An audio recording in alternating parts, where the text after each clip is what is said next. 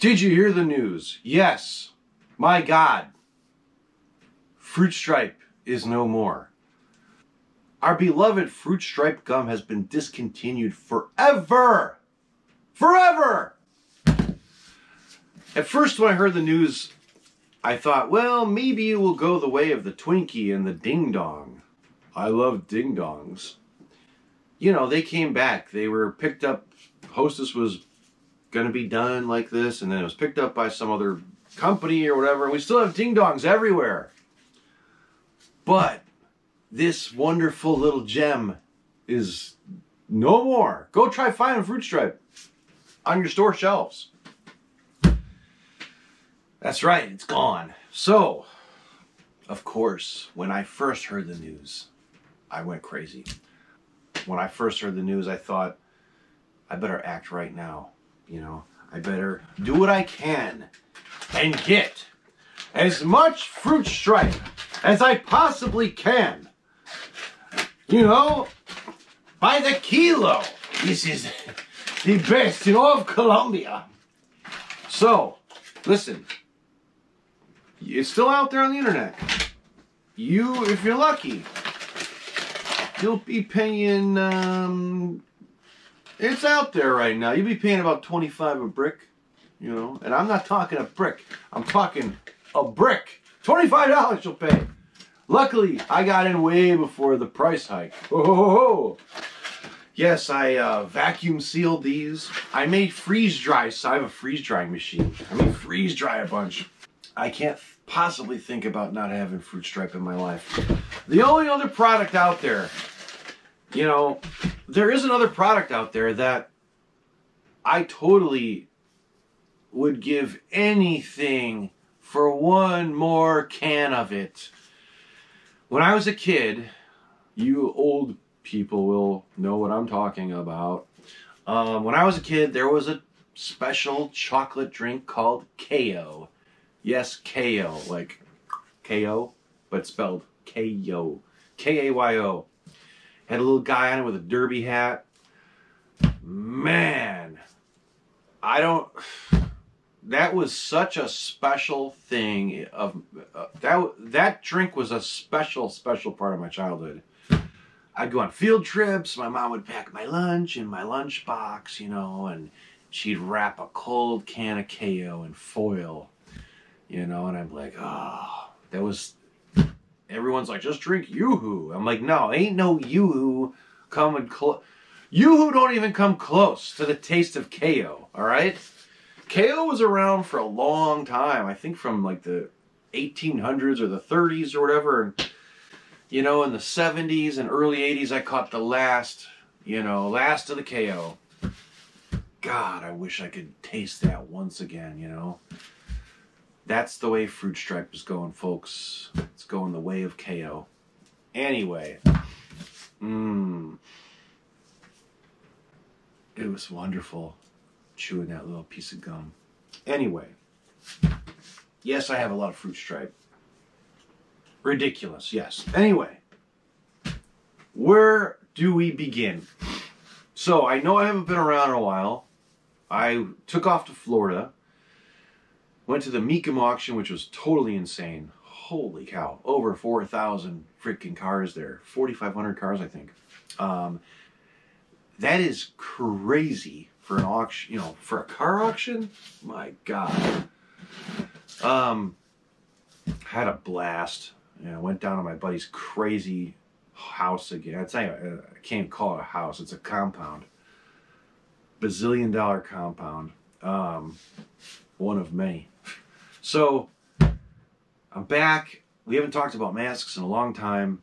But in the meantime, while I was away, certain things were being foam filled by the best foam filler in all the land, Mr. Maskahuna.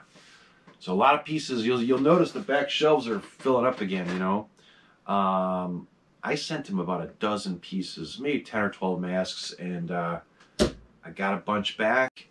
And my God,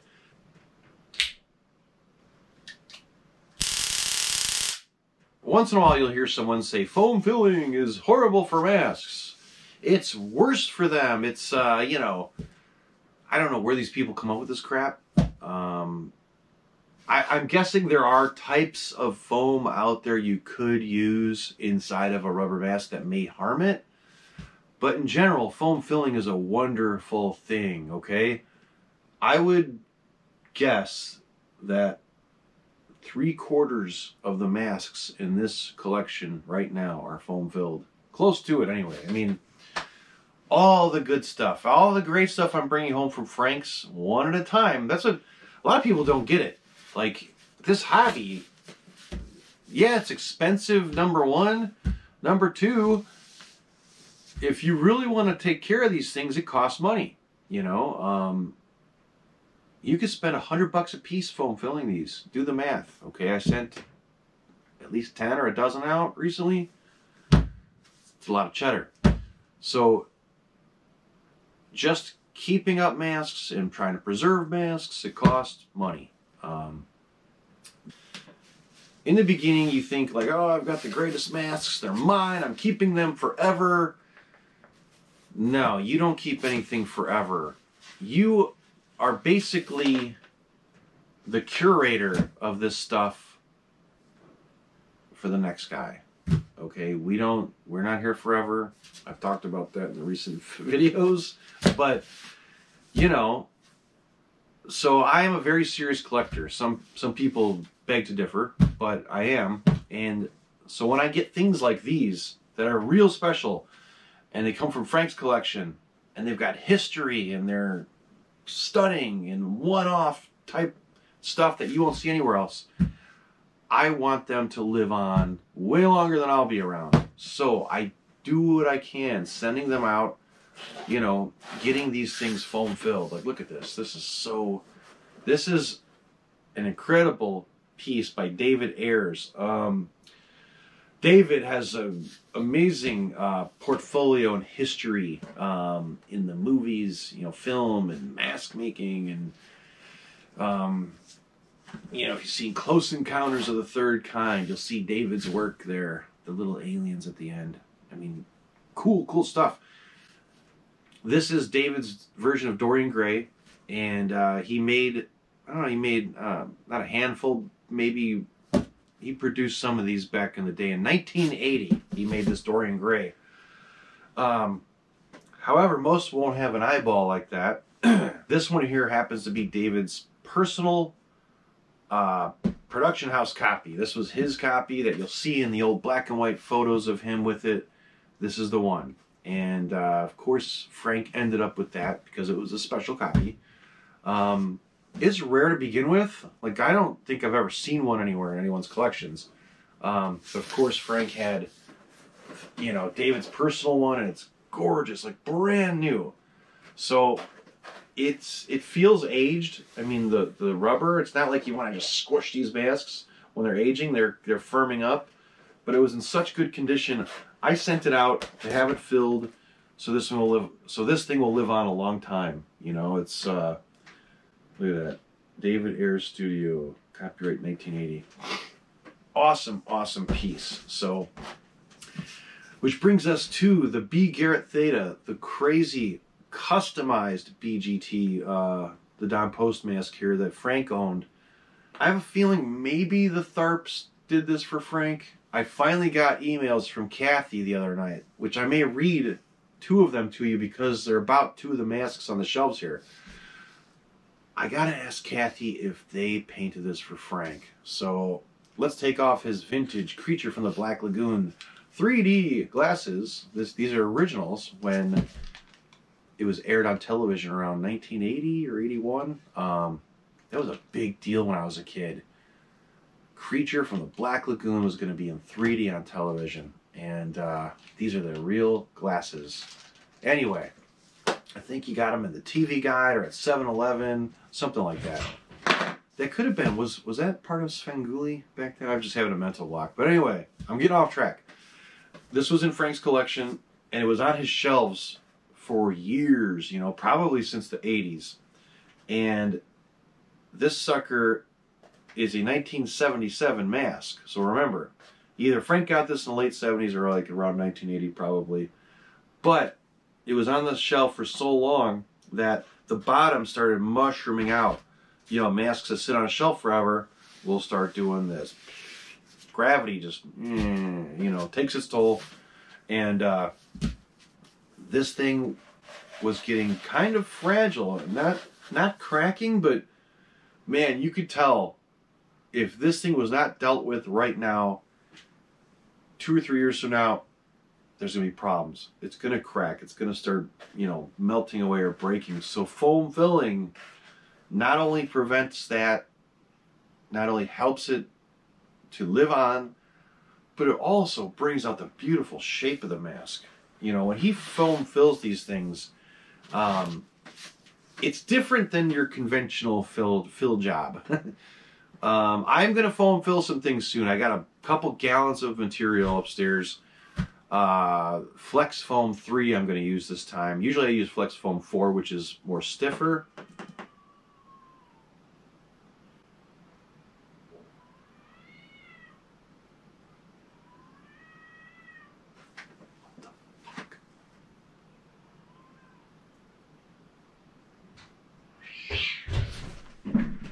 Hey! Hey! Hang on, there's a cat outside. It's freezing. I gotta go feed this damn thing. It's it's lost. My god. Can I just film? If that fucking cat went back up there. You little shit! what were we talking about? So, there's a basement window up high, you know, like. Uh, you go outside, it's one of the windows down the ground, you know. There's pinball games up against the wall, and uh, I hear this, my, one of my cats is going nuts. And there's a little homeless cat outside sleeping down in the window well because it's warm. And my cat's pissed off, like, get the fuck out of here. Like, you're inside. You should be laughing like, ha ha. You know, no, you, do, you sit there and hiss at it, like, leave it alone. I brought a bunch of food out there. Um, it sucks. This is why you people out there that have kittens, okay, you have to get them fixed. Um, I'm not some, you know, I, I love animals, yes, obviously. but I never knew, I never knew the importance of all this crap, you know. They say one cat, and this is no bullshit. They say one cat, like outside, can be responsible for a thousand cats, like, you know, feral cats roaming the freaking streets and the woods for years to come because they keep getting pregnant and they keep and then those babies get pregnant then all those babies get pregnant. And before you know it there's millions of them. And you know how sad it is? It's it's probably five degrees outside right now and there's a little cat out there, I can't bring it in the house, you know. Um, maybe I'll put a box out there with straw and stuff in it. I've done that before and they just don't even go in it. But anyway, can't save them all. But over the past three years, we've had these babies here. Like those, those two cats were born here in the basement from a cat I found outside. I see cats all the time running through the woods that look just like my cats. Like they are totally related to these two freaks. So I'm just saying, they got a lot of cousins and brothers and sisters out there, these two. And it's sad, you know. But anyway, back to masks, yes. Yeah, differences in foam filling. All right, so it's funny that when I foam fill a mask, it takes me all day. Uh, Could because I use little Dixie cups with little tiny amounts because I, you know, I, it's hard to regulate foam. Two little Dixie cups, half full, A and B, parts A and B, mix them together. Let's say this was an upside down mask. That little mixture in the bottom can go like expand like crazy, okay? When it's cured and finally dry. So, it's tough to measure. It's tough to know what a mask is going to take. Now, when my friend does them, he doesn't do them for just anyone. He's got his clients. He doesn't take on more people. I'm sorry. But when he does it, he uses a very expensive machine with a gun, and it's like, you ever see like you ever get a brand new carburetor in a box and they got that foam around it? They have, they spray it around it, and it forms to the carburetor. You know, like when they ship things like that. It's one of those machines, and uh, you could easily spend 10, 20, 30,000 dollars on these foaming machines for a for a business, you know, and that's what he uses. So not only is it super convenient, on off, you know, whatever amounts he wants, it's nice and warm, almost hot coming out of there, and that really aids in shaping the mask. Once the foam is inside this mask, you only have 30 seconds to really go around, fix the shape. He's become so good at it, you know, he's the best we know, okay? Um, but I, I like doing the little increments because I can control it more. Um, I'm not turning this to a foam filling video. I, I may do a foam filling video soon though. I've tried to do a couple in the past and there's all this footage I've lost, but I'm going to film some stuff and show you what I would do, show you precautions you should take ahead of time so you don't have to get up and go get things in the middle of doing it because you only have seconds when that stuff is, you know, doing its thing. So yeah, these two, um, the old Jordu Viridian, Viridian alien. Look at this sucker, man. Look how beautiful that came out. I mean, just gorgeous. It it makes it. A lot of people over the years just are not fans of foam filling.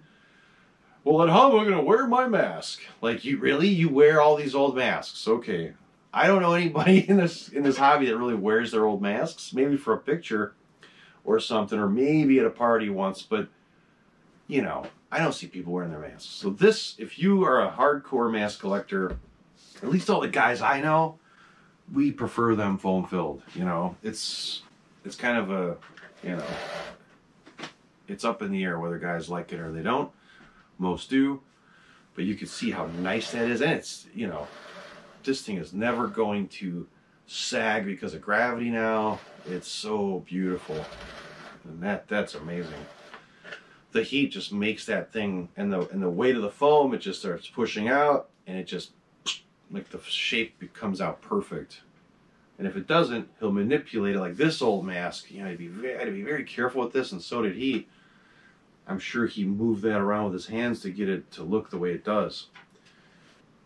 I was gonna show. Oh, I gotta show you. I gotta show you three. The three that came back that are very very special. It's gonna be like their fifth appearance on this channel. Um, but hey. So when these guys, keep in mind, uh, keep in mind, keep in mind, it's not only the cost of foam filling each mask, it's the cost of shipping every mask to California and back. so, yeah, a mask could be, let's say a mask costs $100 to fill.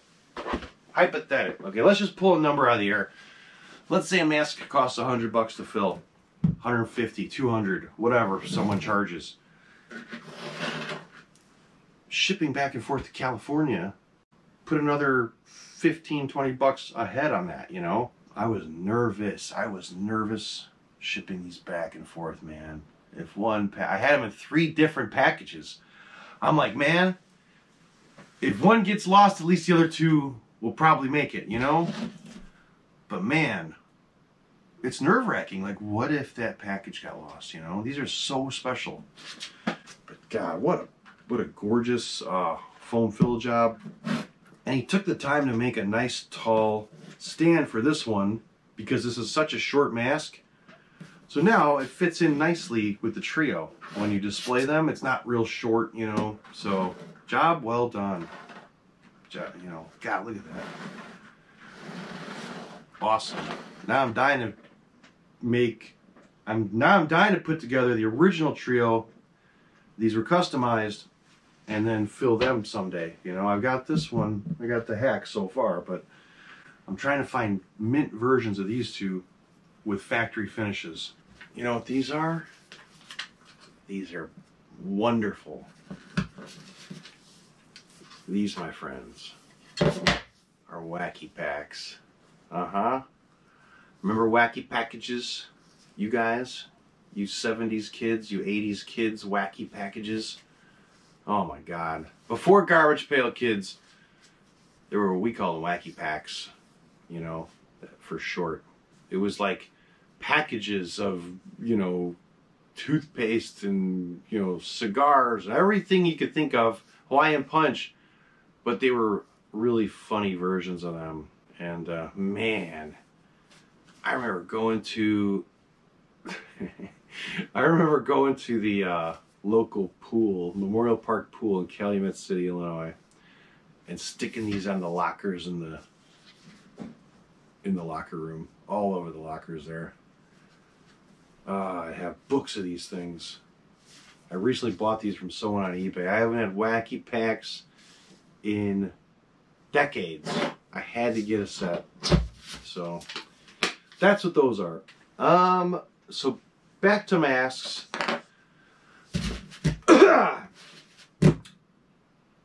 I've been going over uh, Fangoria issues a lot. Uh, the past few nights I've been upstairs while I watch TV, I bag and board Fangorias. I brought home Frank's unbelievable set. He, I think he has the first 300, 350 issues. Perfect, perfect condition from number one on, bagged, bagged and boarded, and they're just gorgeous. Even the first 50 issues are perfect. So I I have the match that I have all of them um, unbagged, like in these things. So I was just going through and cataloging them all in a book to see if I was missing any, but I got like two complete sets of Fangorias, at least complete up to 150. So 1 through 150. You know, the new stuff, you know, I'm not crazy about completing all the way, but uh, man, those first, the first 100 issues are important to me. So back, so talking about that, I was looking at a lot of the old uh, Distortions Unlimited ads on the back of the magazines or inside the magazines. And one mask I would always see that was pretty elusive all these years. And to me, in one of the ads, there was a Distortions mask that I've never seen anywhere. I think they remade it later on. And uh, I have him right down here. He's really, he's really neat. I, re I remember this guy from the ads, and from what I've been learning, he is quite rare. He's a big, tough guy. He smokes cigars, and his name is Slugger. Woohoo! Yeah, look at that. And this, this is not one of the. I don't know if someone recasted it or if Distortions re-released it at some point. I think they re-released it. This is the original. This is the original Look at that. 1982. How cool is that? And this is one of those masks I would see in the Distortions ads as a kid, you know? Like, look at that weird mask.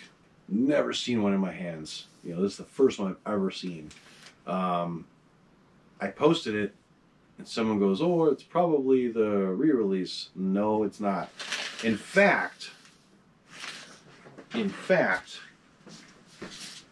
Hey! Leave that kid alone! Okay, we're back.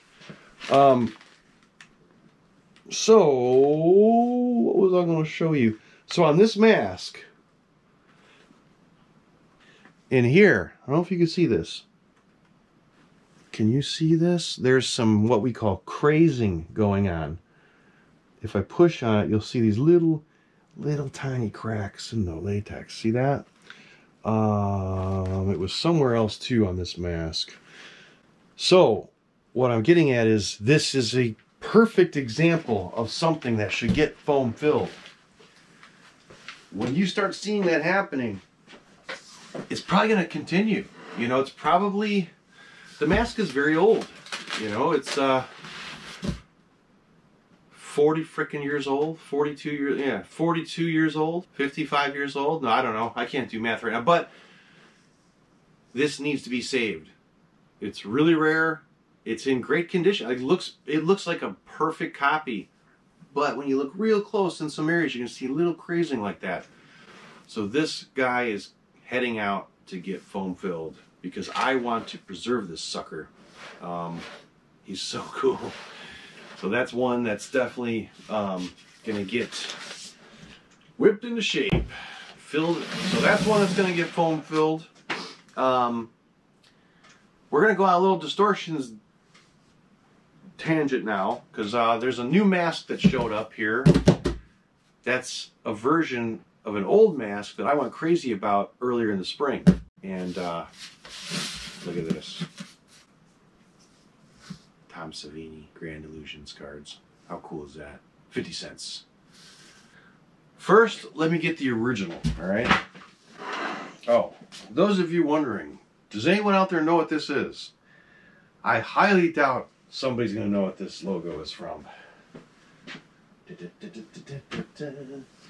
If you know if you know what this logo is from, I'm going to be shocked. Shocked, and I'm also going to say, wow, if you were there when I was, uh, this is the logo for something very special. Um, I'm not even going to say what this is from. I want to see if there's anybody out there in the comments that will know what this is from. And then I'll address it in another video. So remember this guy. Holy smokes. Yes. Remember the 1989 Dead Dreams? Well, my friend, this is the original. I got another one here. And um, it was done by the very talented Connor Dulles. The boy wonder. Funny, Connor is grown up now. He's a freaking man.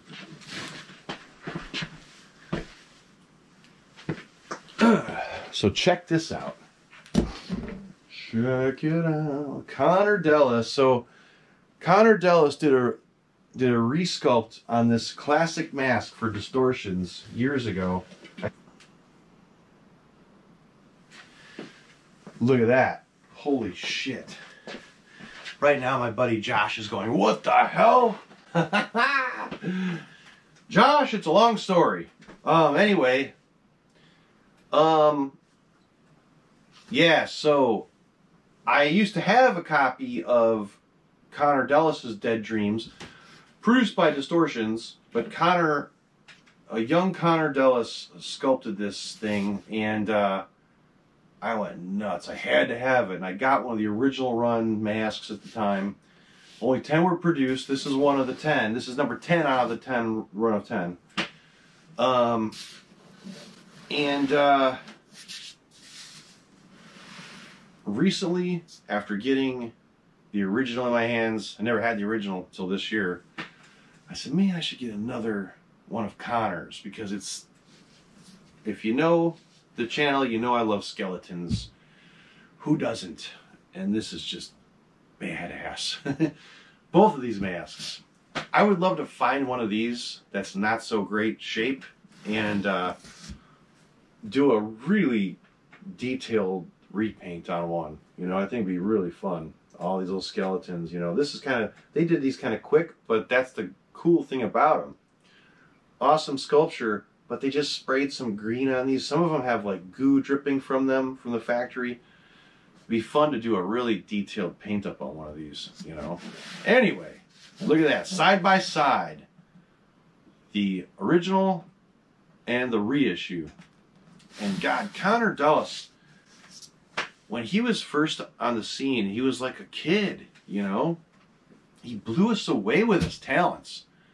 Now he's making masks for Slipknot, stuff like that, you know? Crazy. I'd see him at the show and he was like this little, you know, not a little kid, but he was a real young man, you know? And then a couple years later, this guy comes up to me at Mask Fest. He's like, hey, Rudy. I was like, oh connor like you're a you're a guy now he grew up but man what what an amazing talent connor i had these incredible busts by connor i had the texas chainsaw massacre pieces I hated selling those. I should never have sold them. They're in two different. I think they're in two different collections now. And uh, back back then, I needed money to go to China, so I like I need some extra money. So I sold those busts and uh, went to Shanghai. Anyway, aren't these cool? And uh, amazing work by Connor. Of course, I think of his Texas Chainsaw pieces that are out of this world. Um, awesome, awesome artist, and uh, he's doing great things. I think he may be working with Trick or Treat Studios as well and stuff. All right, so moving on. Mm-hmm. Skeletons in your closet. All right. Hmm. We got to talk about the Phantom of the Opera, Don Post Studios. 1960s and 70s masks. They've been on the channel before, but there's something else down here that I don't think I ever showcased. And I want to show you this item because it's they're pretty unique. All right, hold on, let me get the masks.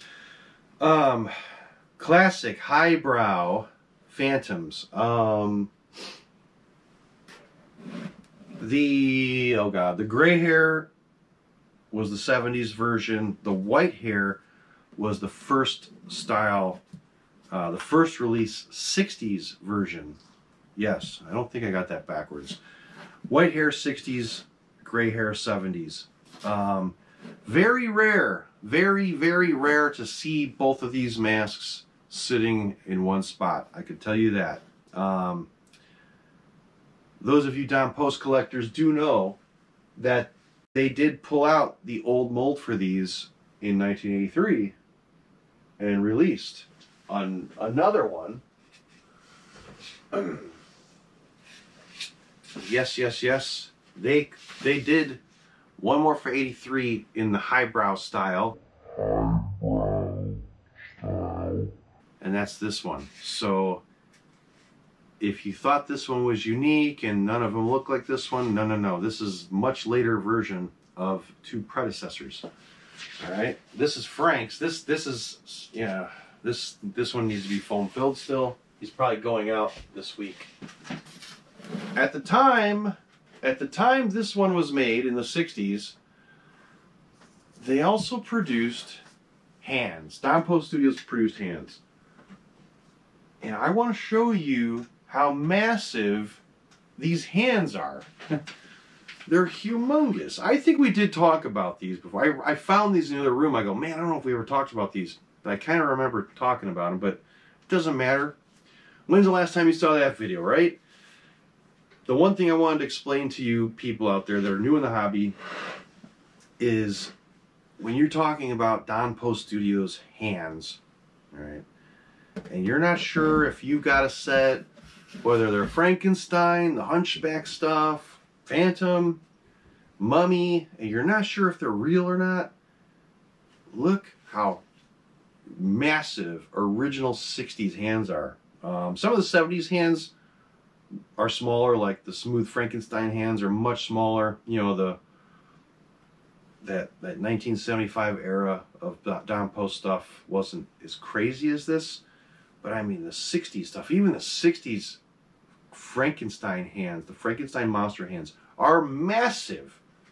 Um, I've seen the one, the crazy big Karloff hands, and they may even be bigger than these. I don't know. They're they're close, but I mean, I don't have the biggest hands in the world, but look at that, insane. And this is an original. This is a this is quite rare. Seeing a real '60s set like this.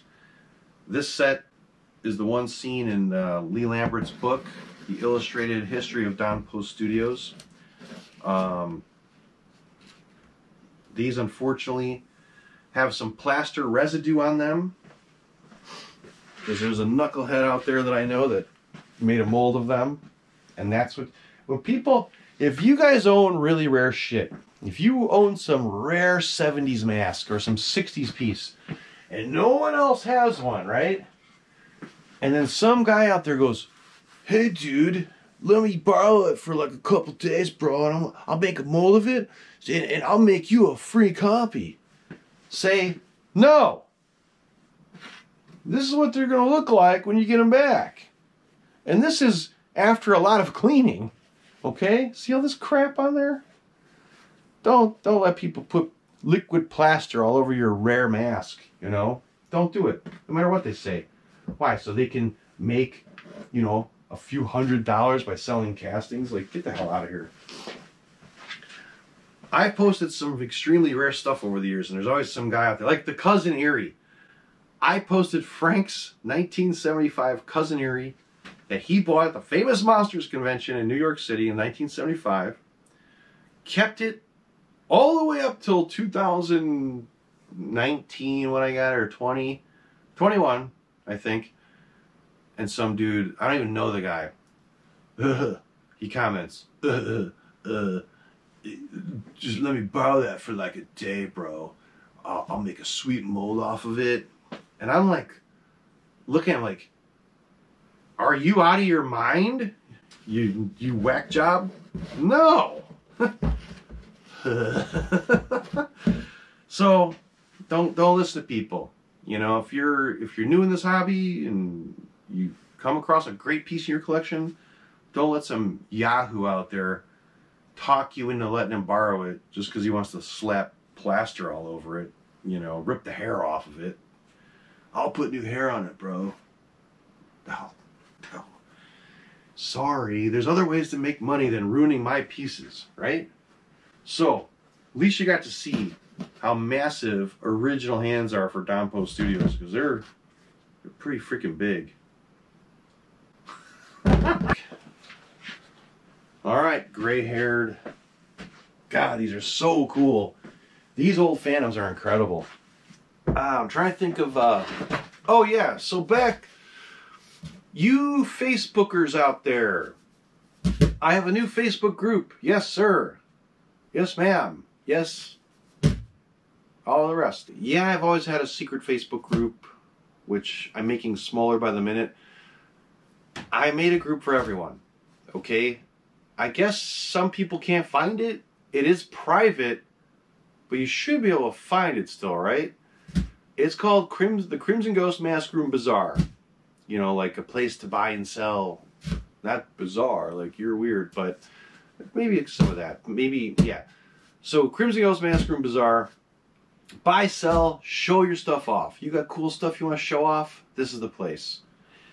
Um, boy, I was in the Death Studios group recently, and somebody's like, I want to know who has the biggest Death Studios collection. Who are the top four people? I'm like, I don't know. Maybe this guy and these two dudes. Maybe Kevin. Kevin, Pinball Kevin, has one of the best collection. Collect. Pinball Kevin has one of the best Death Studios collections I've ever seen in my life. There may be people with more. I don't know. But anyway, everyone's like, I don't know. Everyone's just tagging like different people. So I get in there. And I go, I want to know who's got the rarest Death Studios pieces. Like, you know, like I want to see the rarest, the hardest to find, you know, and the original posters like this is not a contest. I'm like, yeah, I don't, I, I want to see them. Like, I'm sorry, but yeah, yeah, let's see this. So I think we're gonna start a post soon. I want to see the rarest Death Studio stuff there is. So maybe this week I'll start the post in the group. The guy was getting real pissy about it too, like just like eh, you know, I don't know if he was mad that we were hijacking his thread, or like who cares about qua- quali- quantity? Who cares about quantity? I want quality, rare, you know, and it's it's like this is not a contest. It is now. It's not, it's not about a contest. It's about wanting to see rare stuff. Like I'm all about rare masks. Look around me. Uh so of course I want to see rare Death Studios pieces. I've got a handful of really rare Death Studios things, and I'm sure people have stuff that is just as rare. So I want to I want to get them all together. You know, it's, it's not showing off and no, show us your stuff. Okay. Um.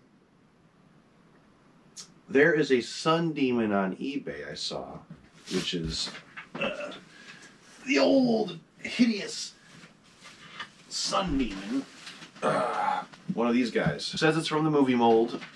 Um, it states it's from the movie mold. It's got a big hole here. It's missing all its teeth. I had another copy where it was missing the teeth too. Everyone says movie mold on this piece, but the story I heard, and I'm just telling you what I've heard regarding the Sun Demon mask. A nice gentleman out there went to Forry Ackerman, who owned the screen used movie head at the time, and said, Forry, I'm gonna mold your man. Let me, let me. Here we go. oh, here's a classic example of what I was just talking about. Okay, ten minutes ago. This is the story I heard. I'm just passing it along. Um, somebody went up to Forry Ackerman and said, Forry, you got the screen used Sun Demon mask. You know, the screen used one in your collection. Let me uh, let me make a mold off of that and we'll produce some copies. And that's, to my knowledge, how the copies that exist came to be, right? I don't think anyone had the movie mold and is making copies out of the movie mold. Getting back to Uncle Forry's story, I heard this fine gentleman that asked permission to borrow Forry's Sun Demon mask, the real prop mask, the hero mask, if you will. Made a mold off of it, made some copies, and gave Forry a copy back and kept the real one. Woo! Anyway, that's what I heard. I'm just going by what I've been told. So anyway, yeah, the one on eBay is cool. It's at 250 bucks. Still, I'm not knocking that. I'm just telling you, I noticed it. Um, keep in mind, this is all not there. A lot of them are like that, though. I think um, I'm not sure, like what the deal is. I'm not sure. This was Frank's from the Frankenstein. So I don't know if um, you could probably add acrylic teeth to the one. You know, the one I had, I had a green one that was missing its teeth too. But when everyone says movie mold, I, I don't know because I know there was a prop movie head, but I don't know if anybody had the movie mold. I think the copies you see out there that surface are from a mold made off of the real head. Okay. Just telling you what I'm thinking. Okay, I'm not saying it is, all right? Don't anybody freaking out. Okay, let's talk about Kathy Tharp. Um, all right. Sorry, guys, the battery died. So let's get a couple masks down because I got a message from Kathy Tharp. Sorry, the battery died. All right, we're back. So this will be a good way to close out tonight's video. Um, I emailed Kathy a long time ago. Kathy and Rob are retired. She's uh, quite busy with retirement, enjoying her life, you know. They've painted enough masks over the years. They're just so burnt out. But uh, we still remain friends, and uh, she finally wrote back about both of these here. Two different emails. I, I asked her about the she creature some questions. So, so the she creature was sculpted around 19- the she creature was sculpted around 1988. I remember molding it in my kitchen by myself. Frank's is very well preserved. Um, so she said she sculpted this in or around 1988, and I remember molding it in my kitchen by myself. I'm happy to see Frank's well preserved pieces ending up with you. We'll talk soon. And then she, okay, regarding the the thing from another world. Okay, this guy, Kathy says, that's an early copy from the first mold. So hang on to that one. The mold didn't last long because of the materials that was used. I had a friend in the FX business help me mold it and he was uncomfortable working with pottery plaster. So we went with so we went with stone it didn't absorb as well or at least very long. Yeah, I heard the mold screwed up on these or something. So that's the story on the thing from another world, the originals. All right, she said this is an early copy, again from the 80s. Um, I would think the sculpture was ruined. You know what I'm saying? So I think any copies that came in the second mold could have been could have been molded off of one of the original copies from the first mold. Does that make sense? If it's a clay, you know, it's a clay sculpture, you put plaster all over it or whatever that material was, and then you take it apart, that and you're scraping out the clay out of the mold washing it out, like that sculpture's gone. It's it's totally ruined. So I think in my mind I would say any copies out there that weren't from that very first mold had to be molded off of one of the original copies like this one or someone else's. Um, it'd be interesting to see if any of them out there are a tiny bit smaller than this one, you know, because of that generation. It'd be one generation off of the clay sculpture. Okay. Um, before we go, I got one really cool thing to show you guys. I went to a toy show and was talking with Mr. Tesco Vee. Tesco Vee is the king of monster toys. I mean, his stuff, from what I've seen, I haven't. Oh my god, he's invited me to come see his stuff in person. I said, dude, when the weather breaks, I'm getting in the car and driving to Michigan. It's like only three hours from here. I gotta see his collection. I would love to do a video on his stuff. But uh, Tesco was out here near my house at a toy show uh, earlier this year, and he had a great display, like incredible display of stuff he was selling. And he had this Halloween mask in a box I've never seen in my life. Um, this is cool. I've seen Ben Cooper's, of course, um, the little kids' costumes like I used to wear in the boxes. I don't think I've ever seen one of these. Look at this. How cool is this thing? Is there a date on this thing? I mean, look at this. The, the box size is really unique, you know? The, the flame retardant. It's a Kusan, Kusan brand. The brand is Kusan, Kusan, K-U-S-A-N. Kusan? Huh famous Halloween costumes. Uh, they're not that famous. Never even heard of them. But look at the artwork out here. Look at this dude. He's got green socks. Arr, I'm going to get you. Abracadabra. ho ho ho ho ho. Aha, that's him. Let's open this. Wow. And of course, you know what the crazy thing is about this? Look at that little mask. Isn't that wonderful? The cool thing about this is my very first Halloween costume ever in my life was a pirate. I wonder, oh, 1974, no shit. Oh, look, I'm a pirate. Oh. Oh, I can, I can smell this and chew fruit stripe gum at the same time. Oh, 100% vinyl. Bottom is 100% rayon. Oh, don't you love rayon? It's so weird. It always stains. Um, so cool. So yeah, I would say it's funny, but 1974-ish, I was two. 1974, I was two years old. I would say I was probably three years old when I wore the pirate costume.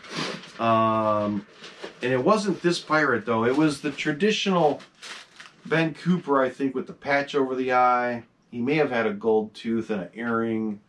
Um, I've seen them on eBay, but I got pictures of me wearing that costume in like 1974, 1975-ish.